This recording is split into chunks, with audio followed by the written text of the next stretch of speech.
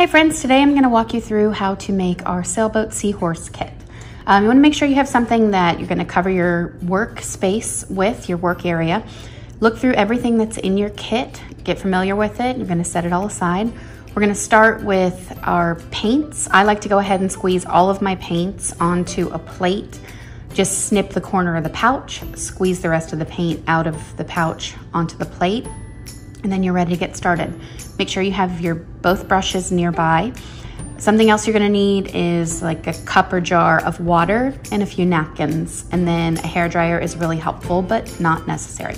Start with your largest brush. I normally don't start with water, but this, I want the paint to look a little thinner and lighter. So I'm gonna get just a touch of water on my brush and start with the light blue. I'm gonna cover your entire canvas, get the edges all around, top, bottom, Get a good, nice, thin coat. If you need a little more water, you can thin it out. If you want yours to be darker, don't thin it out. Once you get a good, nice coat of that light blue, I'm gonna go ahead and just dab a little bit of green into the water. I'm gonna add the dark blue at the bottom because the deeper water is a deeper color blue. Work your way up. I'm gonna lighter blue, if you wanna add more green, it's your picture. You make it however you want. I'm gonna lighten the top quite a bit just to make it look like the surface of the water with a little white. Just till you're happy with your colors, then hit it with a hair dryer. If you don't have a hair dryer, just set it aside to dry. Once you have it nice and dry, I'm gonna paint some seaweed down in the corner. However many seaweed strokes you want, you can do a lot, you can do a little.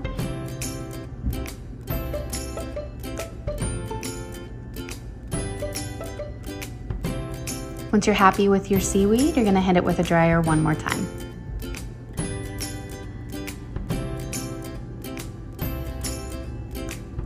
I'm gonna set this aside, grab your wooden shapes, I'm gonna rinse your brush out. Just like to wipe off the extra water. All right, for the seahorse and the sailboat. The seahorse, I just wanna give it a quick coat of some paint. We're gonna glue lots of stuff on top of it, but just in case something shows through, you can do it any color you want. I'm gonna make mine teal, so I'm gonna mix the green and the light blue. This way, once we glue on all the glass and rocks and stuff, if anything shows through, we won't see the wood color, we'll see the teal.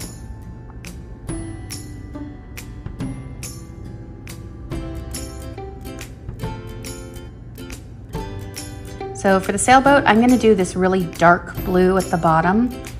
So I'm not gonna wash my brush because I'm moving to a darker color. I'm just gonna try to keep the dark just to the very bottom. Again, use whatever color you want.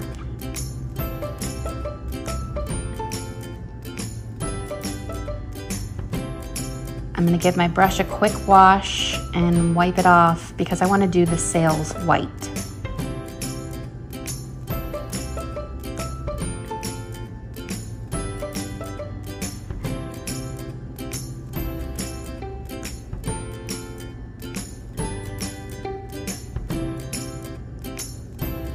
When you're happy with your coat of paint, go ahead and hit it with the hair dryer again real quick.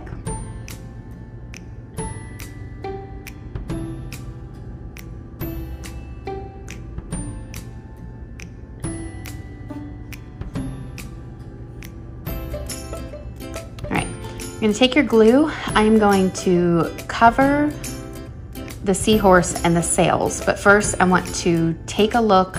I like to dump everything out in the mixed bag. The bag on the left, that's completely only one glass. I'm gonna keep that separate. Go ahead, separate out your shells, the larger rocks, just the larger item. I'm gonna keep the rest of the mix the same.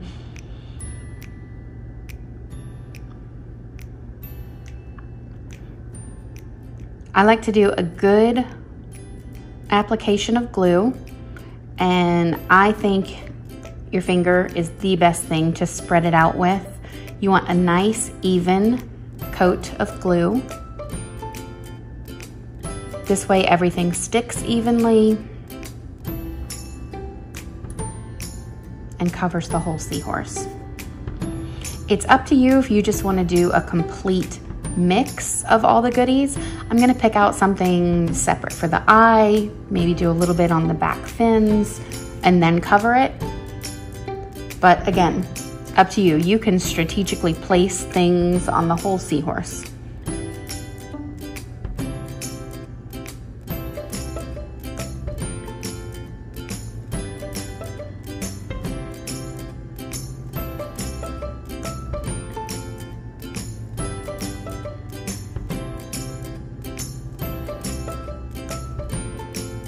Good to make it nice and thick and chunky. You just want to make sure you have everything covered.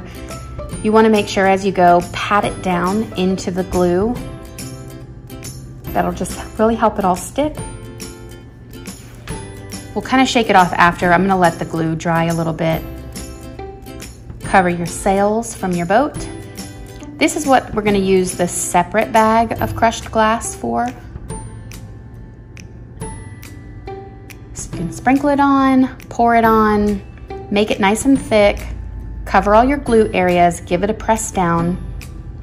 You can see I kind of um, covered the little opening, so I'm just gonna take the back of the paintbrush to open that back up, dump off any excess. I'm just gonna push the extra stuff to the side so I don't blow it everywhere.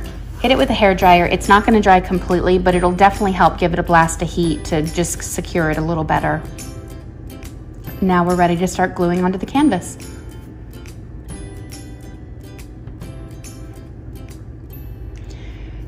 Place your things out the where you want them. Just get like a plan so you know. I like the sailboat sticking up off the top of the canvas a little bit. We're gonna use the white rocks to make it look like the whitewash of a wave.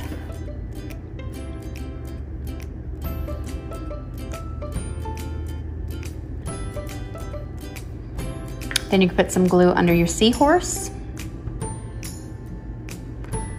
I'm gonna use these shells, a few little rocks at the bottom to kind of give a base to our seaweed.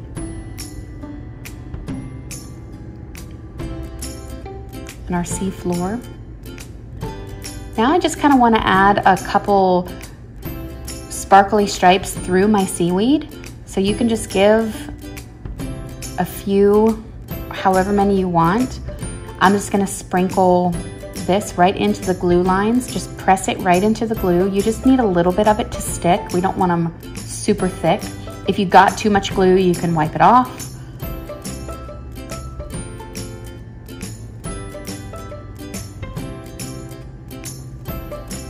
I'm just trying to pick up just the kind of smallest little pieces. Press them in there. Once you feel you've pressed them down a good bit, you can lift it forward. You don't wanna tap it or shake it off really hard. I just have the dryer on low just to give it a little heat while I'm filling in any areas I see.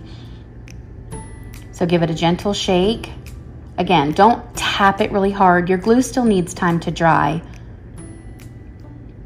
But there we have it, our sailboat and seahorse kit.